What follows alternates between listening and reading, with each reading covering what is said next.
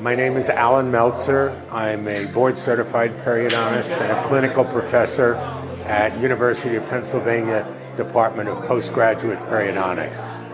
If you are thinking about doing zygoma implants or you've done them, this course I believe now is mandatory for you to absorb. I've taken this course several times. I do it about every five years and it's absolutely the best course I've ever taken on zygoma.